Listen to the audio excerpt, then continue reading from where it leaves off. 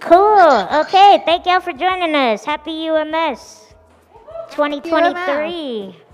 Holy whoa. Happy Disability Pride Month. Um, happy happy to be here and have this conversation about access needs and access around not just our hometown festival, but the big the big wig festival, and um, yeah, wanted to share some of my favorite disabled artists around um, and like our relationship to our access needs, all being. Um, out disabled folks. And, you know, it's a loaded conversation, uh, it's personal. So, so really appreciate the vulnerability of all of us panelists. Um, just want to make sure to like bring this to everybody because access is universal, access needs are universal. Um, disability will impact us all. in one way or another. So, um, yeah, we don't have a ton of time, um, and we have amazing people to share our, our perspectives. So, I just, instead of doing like our classic introduction, um, I was hoping to introduce everybody, um, get your name, and if you're open to discussing your access needs around your disability and how that relates to your work, which will, will tell us a little bit about what you do. Jessica, you maybe want to start us off since you're over there in the corner? No. Javier, start us off. Okay, can everybody hear me? Sounds like it? Okay, my name is Javier Flores. I'm an artist and educator and really difficult, challenging trying to talk over this song, um, yeah. which is lovely. um, but uh, my access needs and how um, I'm an educator in visual arts. Um, I teach at Front Range Community College in Westminster, and so I feel like the things that impede me or are become my access needs in my occupation, I think are the biggest things are uh, physicality. Um, I'm able to move things, and I'm lucky enough to be able to have motion in my arms, and um, as to where like a lot of quads aren't even given that opportunity. So I'm really lucky in that opportunity to be able to move things around, but at the same time, I still um, require height um, adaptations. Um, and one of the things, like I'm sure we'll get to it at some point, but like one of the things that it's pretty universal, I think, for a lot of people in chairs in general and people in general is um, access to bathrooms and that they actually function as a, a, handicap stall. You know that they had the right measurements, the the um, the um, braces, all those kinds of things. Um, but other than that, I feel um, I feel like murals and graffiti are probably where I like falter the most to be able to reach certain heights as far as physicality. Cool. Uh, Lisa or Keri, you wanna you wanna jump in? Sure. Um, good afternoon, everybody. My name is Keri Gray. Um, she, her pronouns. As a visual description, I'm a light skinned black woman, currently walking some kind of cornrow, tribal braids type of thing, gold jewelry. Um, and you'll see this background plant, earthy, is giving that. Um, and uh, I run a consulting business um, where I help companies and organizations around disability and racial justice, the inclusion of particularly BIPOC people with disabilities in um, different employment settings and shifting organizational cultures. Um, for me, I'm a cancer survivor and um, I have a amputation uh, due to my cancer and I wear a prosthetic limb on my right leg. Um, and I also have hearing loss um, due to um, cancer and things of that nature. So for me, uh, when I be in festival settings, you'll often see me riding around on a, a Segway, zooming around from side to side, trying to preserve my energy, uh, making it from place to place. And um, I do at times use like captions and things of that nature um, to help me catch things that are going on in the conversation. Or I'm the person I'll be like, can you repeat that? I really just didn't quite, you know. um, I'm really excited to be with y'all today and um, discuss more about this topic. Yay! Thanks for thanks for being here. Beautiful, beautiful. Hi, beautiful people. My name is Alicia Lisa Young. My pronouns are she, her. I, too, for visual description, am a beautiful bronze buxom babe. I have, uh, today, I am wearing a red um, scarf and I have on a black and white top. I normally wear glasses, but today I do not have them on. I am sitting in front of an elephant, uh, which I love that. I love elephants. Elephants remind me to remember. And um, just so you all are aware, I had my first stroke when I was 14 and a half years old. I live with hidden disabilities, so a lot of people see me, and the first thing is if I pull up into, you know, the disabled parking. I've had people yell at me saying, "What are you doing there? Shame on you taking those poor disabled people's spot." Um, I've had people question, like, you might see me. Um, currently, I am transi- transitionally using a motorized scooter for long distance. Um, I have left-sided weakness, and sometimes I get very trippy and I fall. Um, but I also right now am living with a back fracture that happened from work, and I have a cane. So um, if I'm in the house and I have walls and, and tables and chairs that I can hold on to, I may not use the cane.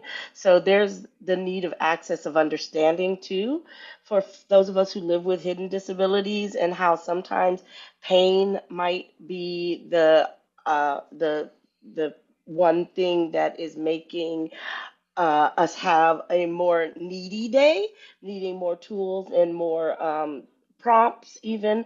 Another thing that I live with is I have ADHD and some other cognitive disabilities from having a stroke at a very young age. Um, live with PTSD and some mental health issues too. Um, so, for me, in the work that I do, it, it's really imperative that I advocate for myself my access needs almost constantly because I function as a normal person because people don't see a wheelchair, they don't see a limb or hearing aid or cane or something. They make assumptions about how well or unwell that I am. I also live with chronic asthma.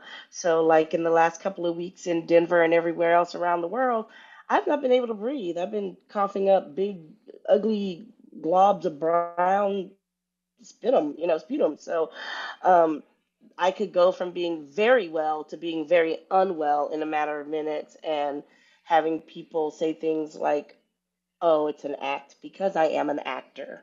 So I'm in the performance arts, and that's uh, pretty much my story. I mean, there's other, you know, things about access that we could get into.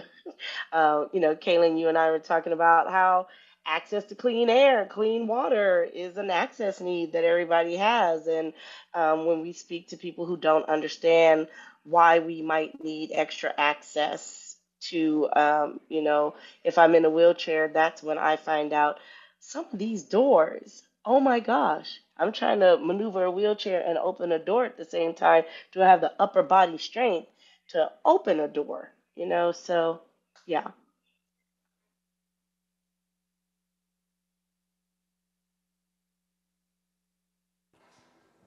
Thank you, Jessica. Okay, I'll go now. Oh, good. So my name is Jessica Wallach, and I'm one of the access team here. I'm an artist, educator, mostly around camera work. Um, this is my work. Um, access needs. More, I have cerebral palsy from birth, and more and more I get exhausted. And so I am using um, the scooter for the last six months. Um, and very much going back and forth. So you'll see me walking around today and you'll see me scooting. And I think, I went upstairs twice and in the back a few times, and I think I'm done. I am done being on my feet. So, access needs, yeah, doors. I think bathrooms, and like, I never understood door handle buttons like I do now that I'm in this. Like, can I touch it, get back, and get in place? Like, they're just not. Um, so I'm looking forward to the day when it's all sensor based and not you need to hit it. Um, and then I have two other big access needs. One is eyes. For me to process, I process out loud. So I'm always bringing people in, um, and sometimes it's just an access need. It just is. I don't know if it's my personality or my disability, but that's how I operate, right? And then, um, oh, right. So then it's just a piece of respect. I have the speech difference. Folks with CP have a huge range of speech differences. And for me, I never know if you're patronizing me or liking me, right? So you have to work really hard to show me respect. So I know that it's that you like me because what happens is people notice that I'm speaking differently and then they don't think I'm as brilliant as they are. And it's the ableism, right? It is not anyone's fault. It is really, we are 50 years out of the ugly laws. We are, you know, 30 years into ADA. It is still thick out there. And so, um, but it's a big access need that I can't tell if you're patronizing me or respecting me. Cool, thank you. Um, I'm going to moderate this discussion because I talk in Denver all the time about myself. But I do, I do want to answer uh, this question and hopefully the last. Um, yeah, I have been lucky to help lead the Access Initiative here at the UMS for the first time ever. I am a performer. Um, I am an artist outside of performing now, but for the most part, uh, I play concerts, and access needs is something that I wasn't really introduced to until much later in my life, actually, not that long ago through Phamaly Theatre Company, and it was the first time that I watched a giant group of people be asked, What are your access needs? How can we help? Where are you at today? And we did that every single day with a cast of 26 people with disabilities. Um, every time we rehearsed, we checked in on access needs. Actually, went on a double date recently where we checked in on access needs halfway through the date.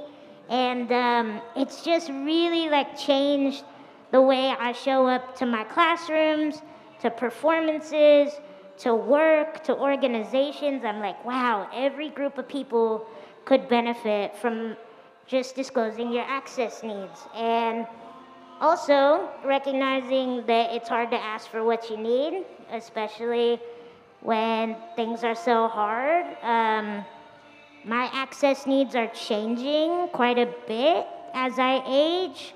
Um, they change throughout the day. Uh, they change because of the climate catastrophe. Um, I, if I travel in my power chair, which I haven't done until more recently, I need a lot more access to public, to accessible transportation, which is a nightmare. Even here at home in Denver, being the first uh, city to make public transit accessible. We don't have lifts. we don't have Ubers, we don't have taxis. Like, you could get stuck downtown so easily, going to shows, going out dancing. If you miss that last bus, like, you know, we're in a cow town and you're fucked. So, um, yeah, I just got off like a really hellish travel week playing a show for a disability festival. And even with like all the help, all the resources, all the money, Miss Wheelchair New York, like by my side, texting everybody, we were left stuck. We were left stranded. Um, I was so desperate asking cops for help. Cops weren't helping. Uh, it was just like one thing after the next to the point that like by the end of the week and even even this week going into UMS, I'm mad as hell. I'm tired as hell. I'm like on edge. And so asking for what I need is difficult because I'm just like trying to make it through, you know? So, uh, yeah, transportation, housing, bathrooms, obviously a big one, and one that I haven't prioritized for myself for a lot of times because I grew up in an inaccessible house. I never could get in and out of my house by myself. Never could close the door in the bathroom. I still don't really close the door in the bathroom. Um, so, yeah, again, like that's shifting, it's changing within me. I definitely ask for like a smaller boom stand of a microphone uh, so that it's not like in in the front of every photo this big crane of a of a microphone. Um, that's like a little thing that I ask for on my writer. Um, I asked for a small table for my laptop, and and again, like I don't ask for an accessible stage typically unless I'm in my power chair because I just the the the commonality is that stages are not accessible. And um, yeah, I'm a little less likely to let people carry me anymore. So, um, yeah, cool. Um, thanks for sharing. I wanted to, Keri, if you wouldn't mind telling us about, as you know, um, the UMS here here in Denver, three day festival over 200 bands. This is the 20 something year, and it's our first year of trying to tackle accessibility. Um, and I know you did such amazing work with Coachella to make it accessible for people with disabilities. Um, could you could you share with us that program, how it went, what you learned, anything, any? We I would love to hear. Definitely. Um, super appreciate that. Y'all stories, I'm really receiving something hearing y'all talk today. Um, so for me, I, I, get the pleasure of working with a variety of different um, clients across various industries. And mostly I come in and I make it really easy for staff and our teams to talk about disability and mental health in the workplace you know, one of the things that we're doing is we're trying to increase the number of people with disabilities in the industry, but we also know like the culture also has to be transformed in that work for us to stay in the workplace. So we do a lot of work around that. Um, but every so often, I get a, a, special opportunity to build a program and uh, there's a company called Goldenvoice, and uh, I just don't know who I'm talking to in the audience, so I'm gonna break just a couple things down. Um, Goldenvoice runs a company called Coachella, uh, which is a magical place. Festivals are just that; they're creating magic um, in live events. And I currently serve as the impact producer for Coachella's Accessible Plus program, um, that was founded by Austin Whitney, Sabira Naji, and Coachella's festival director, Cole. And Accessible Plus is essentially this like really immersive experience where we bring in um, we bring in uh, 20 total BIPOC disabled people, um, you know, who are all interested in being in live events. Some of them are artists, some of them are production, some of them are interested in marketing. Like, you know, we we bring them in and we're building community you know, to come together. It's essential that we know each other, that we're, you know, building that camaraderie. Um, we come in and we discuss festival accessibility. The more that our community is out there, we're learning about all the different things that we could adjust to make the festivals more accessible. We have, for instance, these like large scanners uh, across the festival that scan your credentials And as we're talking to our participants, they're telling us how they're too tall, like, you know, depending on your disability, having to reach out your arm and, you know, standing atop this thing is, is, is a challenge. And so, you know, we're discussing festival accessibility and we're also learning about the professional opportunities that are out there, right? Like we want our community dreaming about being vendors for festivals, about being artists, about being all sorts of things in the industry you know, this program was definitely inspired by the barriers that our community faces. Um, you know, specifically when it comes to employment, we see that people with disabilities only are about like 40% in the labor force. So that means only 40% of our population is actually even considered to be working. Whereas if you're not disabled, 76% of folks are in the actual labor force. It's wild the disparities. And turn and that's not unemployment. I'll just look at that. We're uh, two times as unemployed as a person without a disability. So we built this program knowing there were going to be obstacles, knowing there were going to be things that have been happening that would make it a challenge, but we're determined what we ended up doing is Coachella is, is, is a very large, you know, space. It, it, it has about 125,000 people each weekend. It have a camping element where about people participate. So what we did is we had to imagine what is an accessible campground for our community to be able to stay there and participate in the festival. So we built it from scratch we had to think about our transportation system, which I'm so glad you mentioned accessible transportation. Such an issue um, that we really have to come together on board. But at least when you're on site, you have accessible transportation. The number of golf carts that we're delegating is very, very important. Collaborating with the ADA department, having a strong relationship, but not just with our program was ground grounded in intersectionality. everybody our cousin, and we want all our cousins to come together for this program. So we work with, for instance, GV Black, the Black ERG um, that's connected to Goldenvoice, and we build initiatives together to represent our community, work together through that collaboration.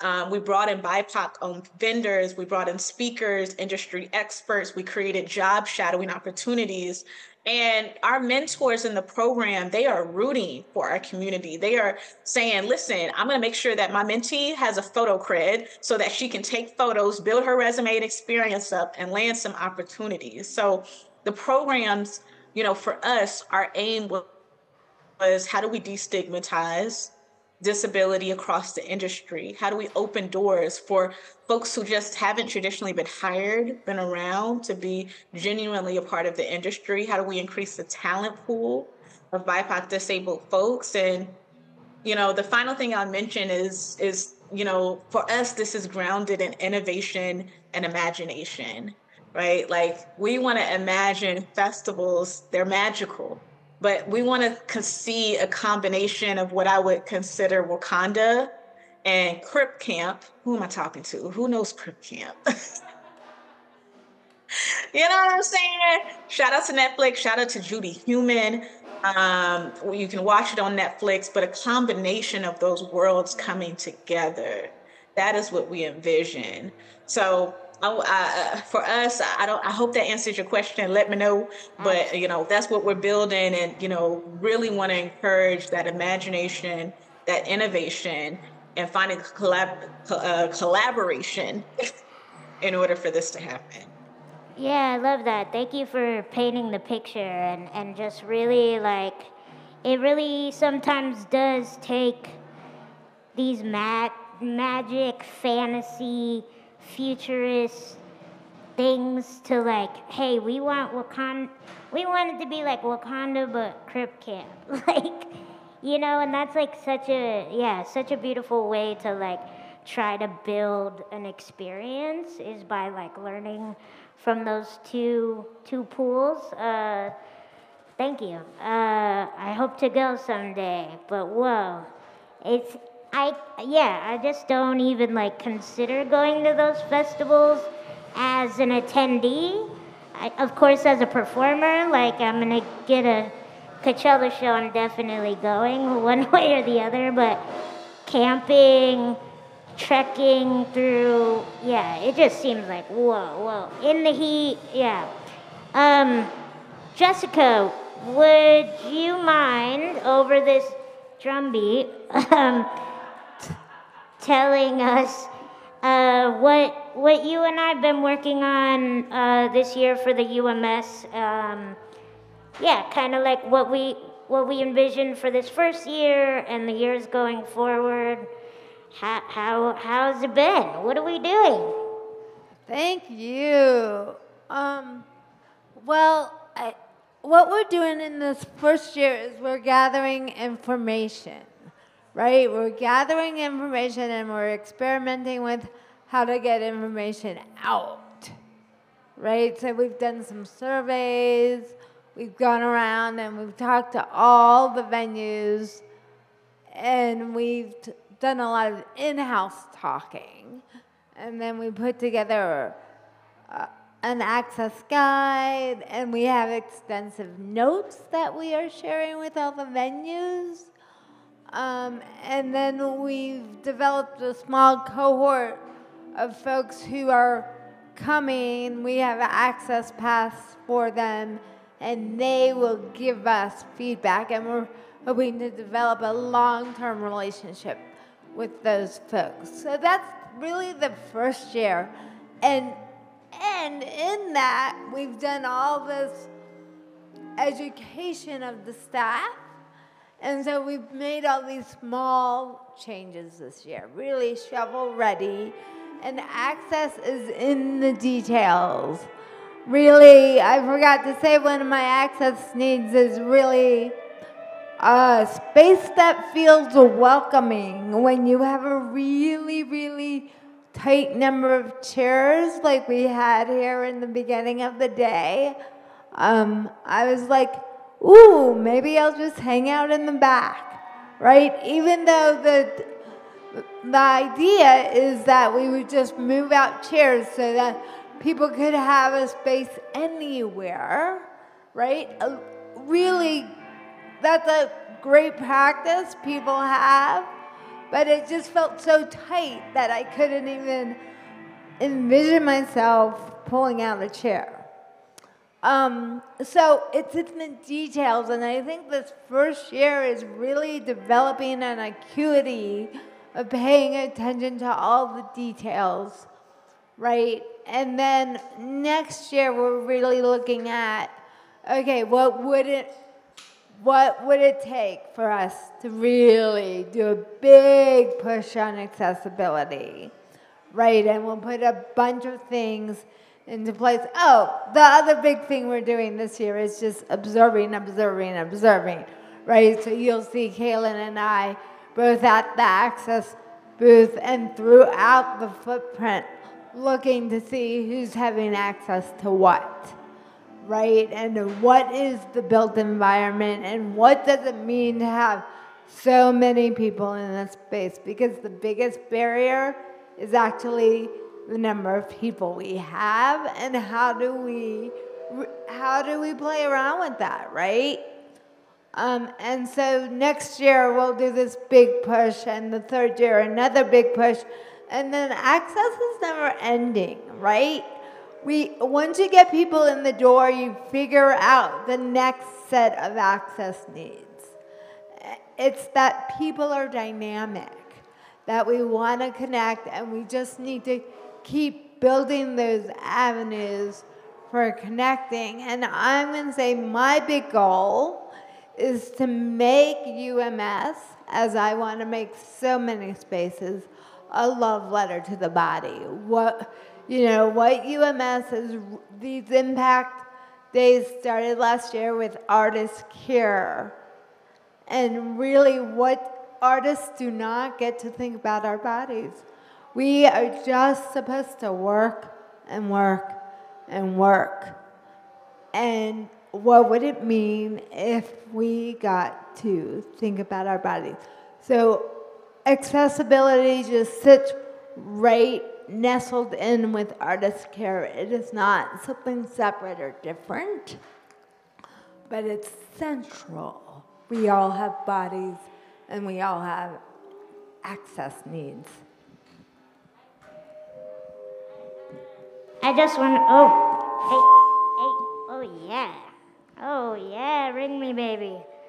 Um, I just want to add too that like, yeah, I think we both feel like we have so much more work to do. So much more. We're still, you know, in a building right now that the elevator's broken. None of us are going to be able to go upstairs for all the great events.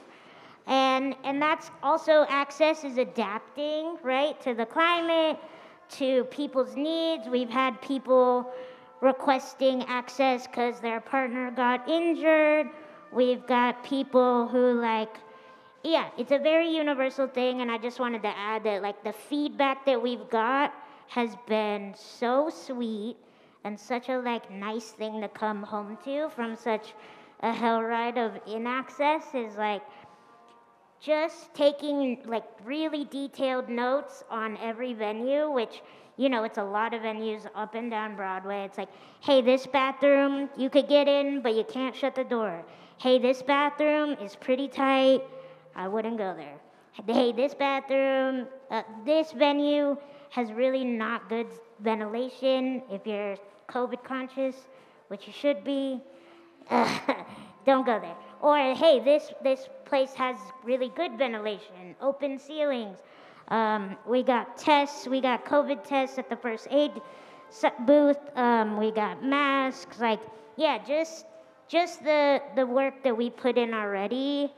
I've never seen at any festival that I played at, and it feels as with any any kind of movement work that we still have so far to go, but I, ju- I just feel really good about what we've already done and yeah.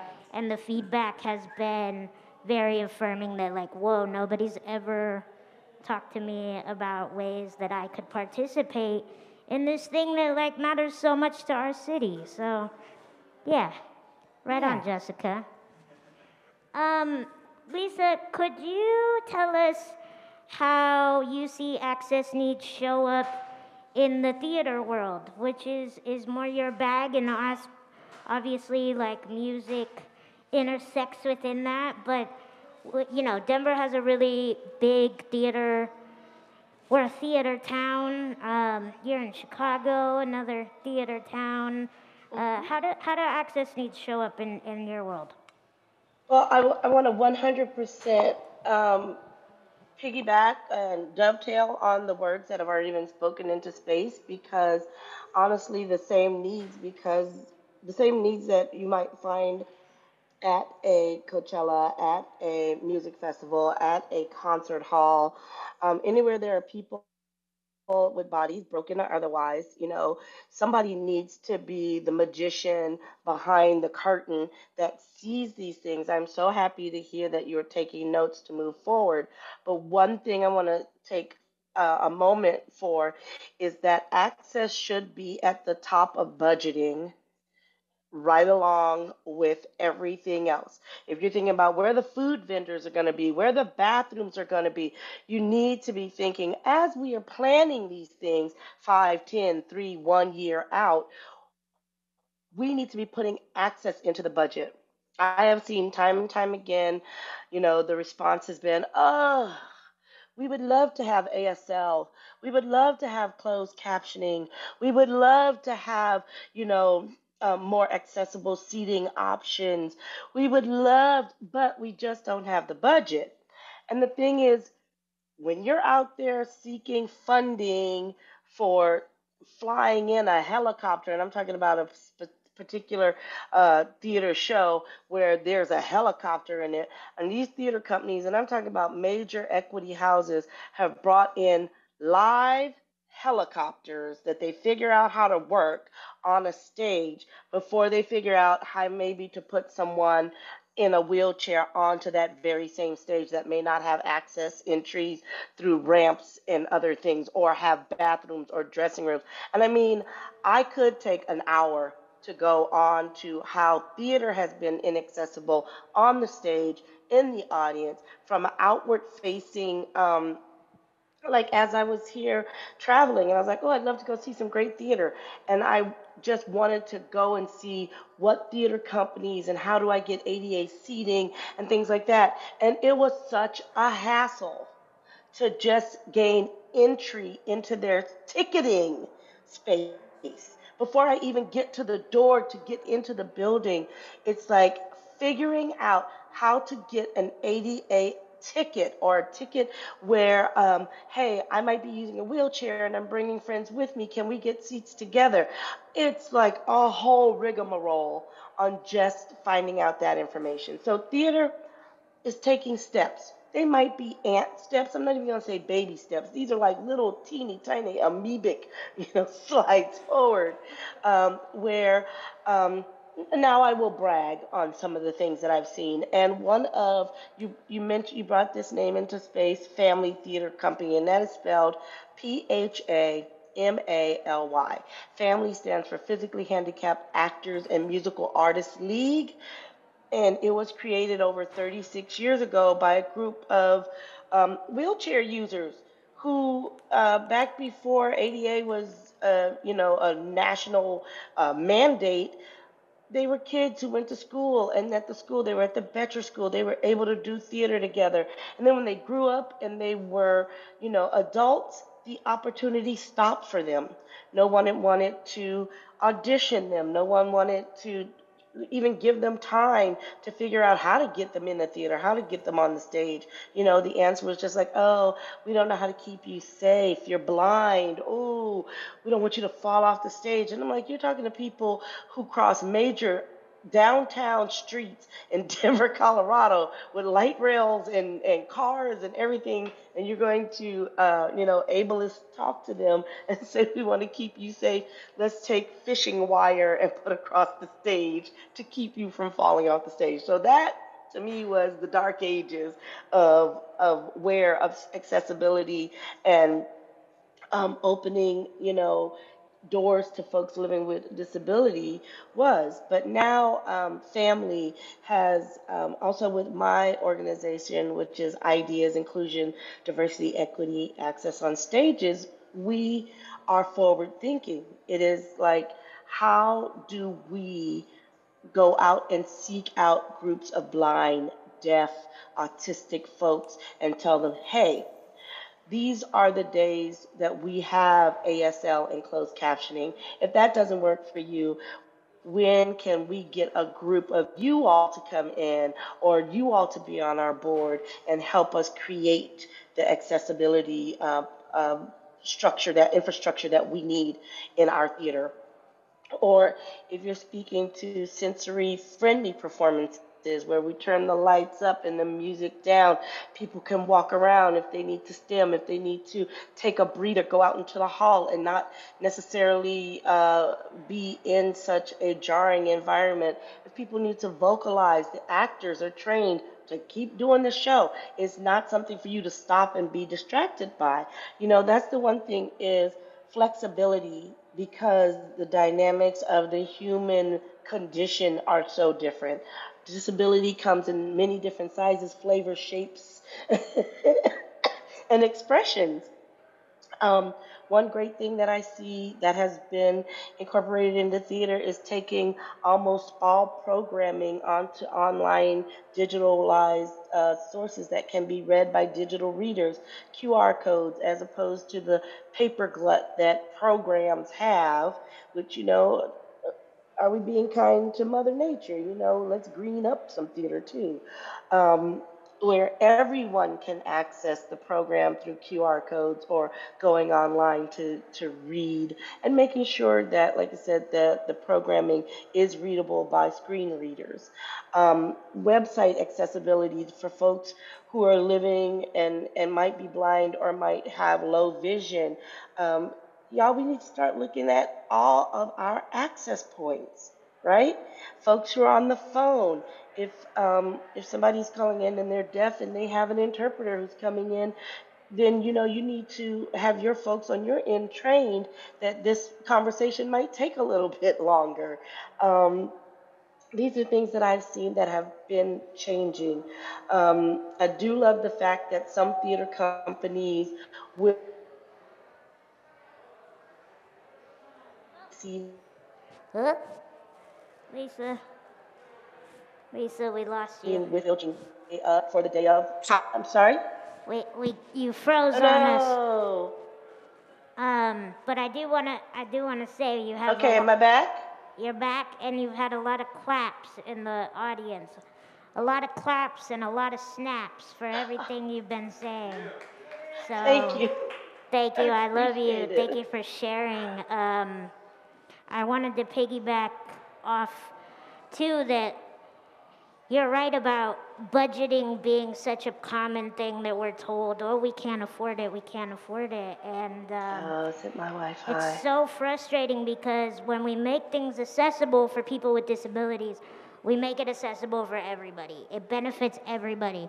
Nobody is mad about having ramps on the corners of our sidewalk. No musician is ever gonna throw a fit because there's a ramp or a lift now to get all their gear up, right? Like, again, disability happens overnight in the midday. Um, it's coming for you all. Keep living. My grandmother said, keep living, baby, because at the end of our lives, we all become more That's- disabled than able. That's you right. know? And um, yeah, I've just, I just really appreciate you being like, no, this should be at the forefront, and and we gotta stop like putting the burden on people with disabilities that already are asked to do so much more work, spend so much more money.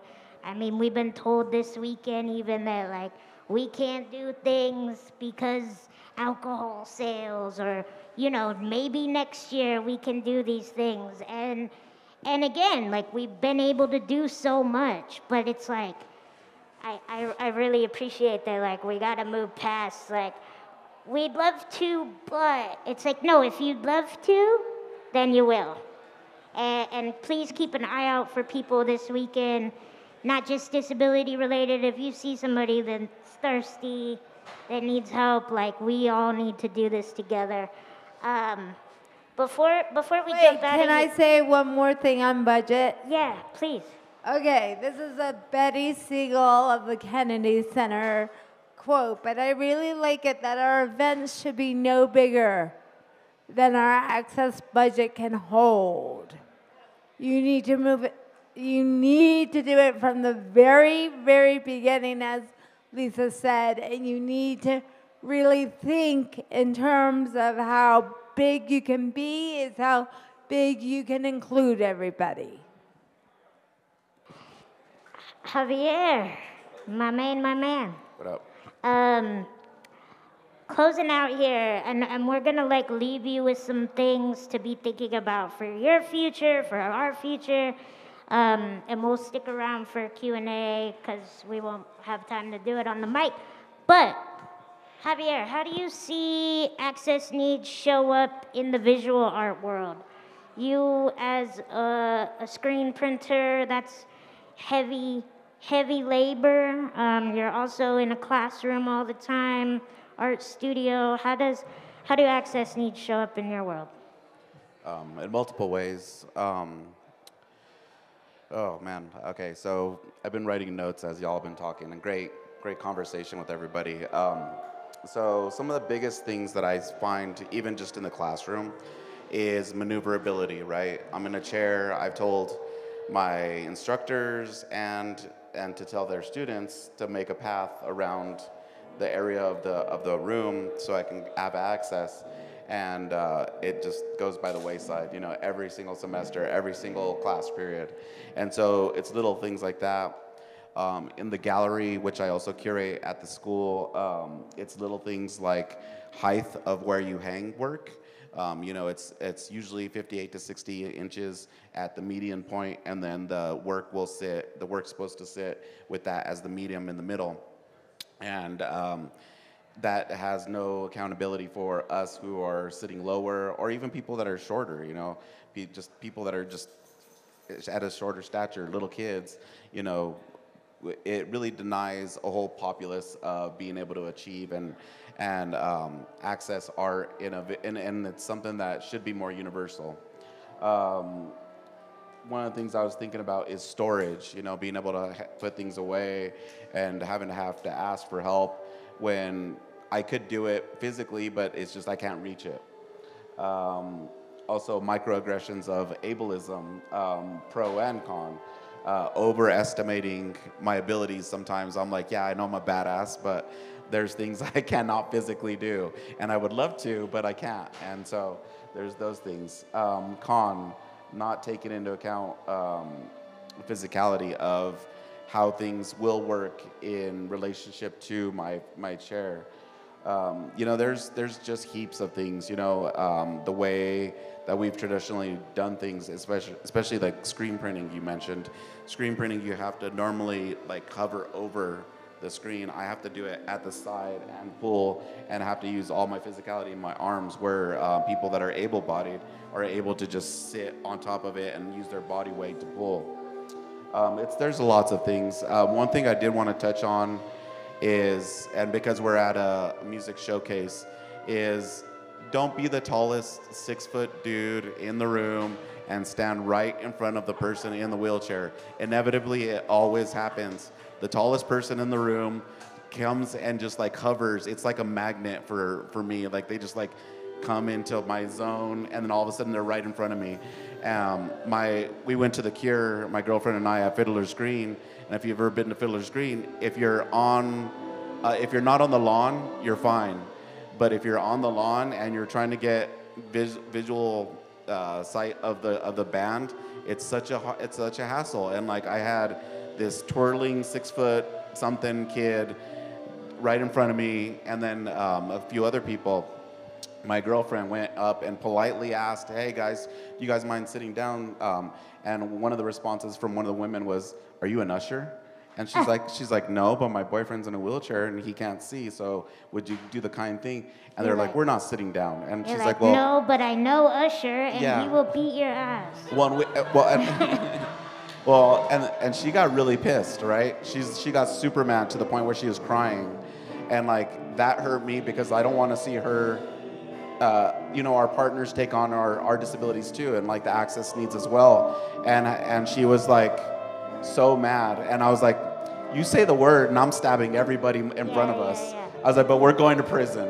Um, you know. Well, I want you to know that we did have you in mind when we created this year's like accessible spaces in venues. What we didn't want to do is like have this weird section that's separated from everybody else and whether or not people used it, it's like this is only for wheelchairs. So what we did, the messaging is like, hey, this space is reserved for sitters and shorties that might need it.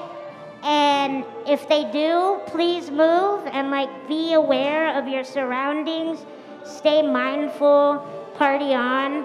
Um, because again, this like messaging isn't just about those of us in wheelchairs, it's about little people, it's about kids, it's about people who hurt their ankles on those scooters. You know, we're here for everybody. So, um, thank you again for this conversation. I hate to jump because we could talk for hours about all of this, but there's a really big band up there and they're getting loud. Uh, the show has begun. Um, if please give it up for our great panelists, Keri Gray, Alicia Lisa Young, Javier Flores, Jessica Wallach. If you got questions, you know where to find us.